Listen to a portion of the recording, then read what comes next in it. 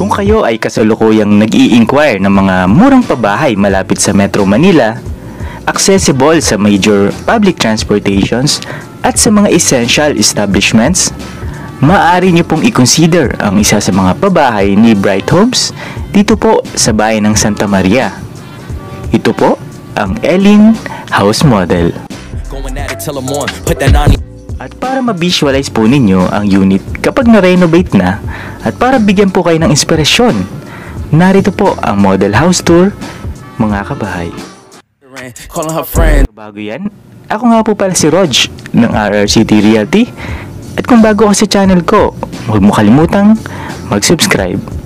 So paano kabahay? Tara, diretso na tayo.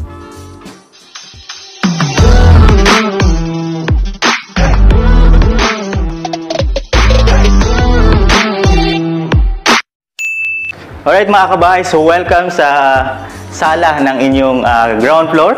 Yan, so pretty much very very spacious mga kabahay. Well, ah, by the way, this is a combined units kaya ah, medyo spacious siya. So makikita nyo, yan, meron silang ah, wall cladding, ah, nandito yung sofa and center table and dito nakaposisyon yung kanilang ah, TV set, entertainment set. Yan mga kabahay.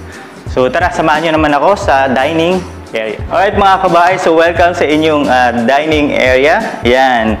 So actually this is uh, good for 4 to 6 seaters.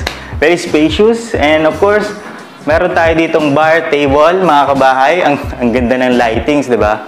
Yan. So nandito ah, nakalagay yung inyong ah, kitchen area. So meron din ditong lababo. Yan.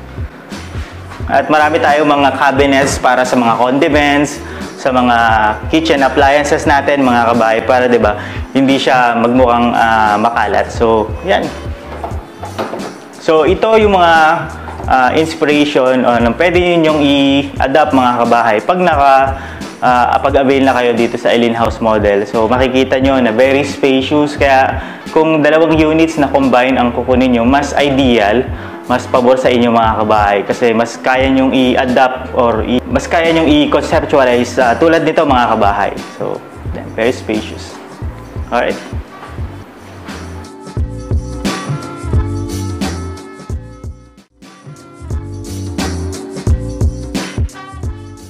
Yan. Very modern yung design. Meron kayong ah, shower enclosure dito and of course yung inyong ah, toilet bowl and inyong ah, sink. Yan. So nag-setup na rin tayo dito ng ah, salamin. Very modern mga kabahay. Napakaganda. So tara. Samahan nyo naman ako sa second floor ng model units mga kabahay. Tara.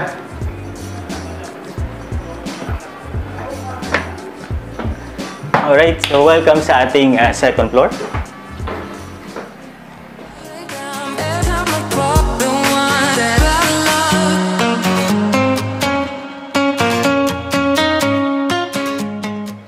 Alright mga kabahay, so welcome sa inyong second floor. Yan, makikita nyo ah, dito nagkaroon sila ng, nag-dedicate sila ng space. ah, probably pwede siyang parang, ah, you know, ah, receiving room or ah, study area, ba? Napakaganda. Very spacious. So, 'yan. Ngayon puntahan natin yung mga kwarto. Itong Ellen House model natin sa second floor ah, ay binubuo ng tatlong kwarto plus itong espasyo na to dito sa side. So, tara. Check natin yung first room.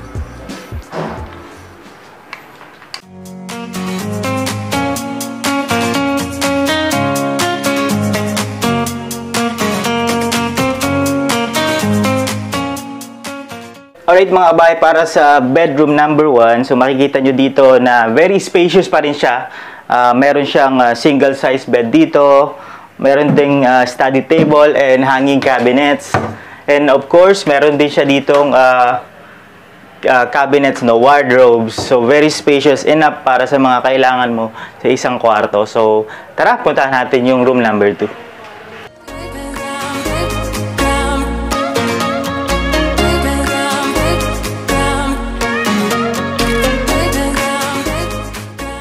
Alright mga kabahay, so welcome ah, sa inyong ah, second room dito sa second floor. Yan. So, this is good for uh, single size bedroom as well. Yan, so tulad nung uh, bedroom number 1, so meron din siyang uh, side table, table dito. Yan.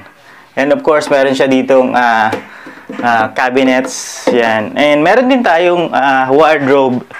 Yan. So, para sa inyong mga damit.